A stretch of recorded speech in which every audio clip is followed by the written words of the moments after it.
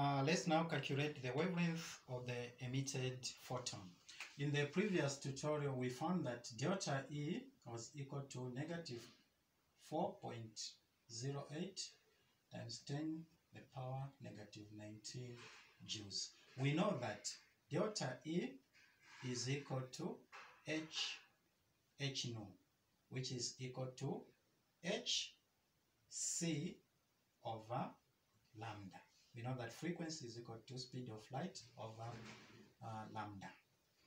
Delta E is equal to hc over lambda. Then we make lambda the subject of the formula.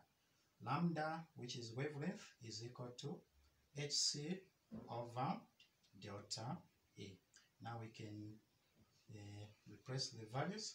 H, Planck's constant, 6.626 and 10 minus 34 joule second then speed of light 2.9979 times 10 to the power 8 meters per second. Then over delta E 4.08 times 10 minus 19 joules. Then you cancel the joule. The second cancels. The only unit remaining is the meter. When you do the manipulation, you find that the lambda is equal to 4.86 times 10 minus 7 meters. So this is the wavelength of the photon emitted.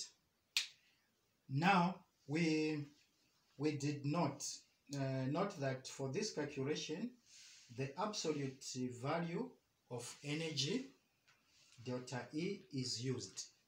We do not include the negative sign.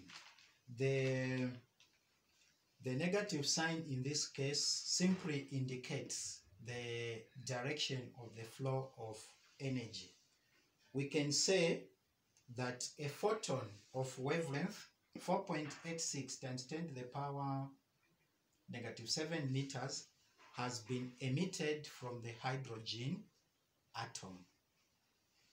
If we were to use the negative value for energy, we would find a negative wavelength which was not going to make any physical sense. So the negative simply shows the direction for the flow of energy. In this case, since it's negative, it's emission. If the change, if the delta E was positive, it was going to be absorption. So this is how we can calculate the energy of the emitted photon.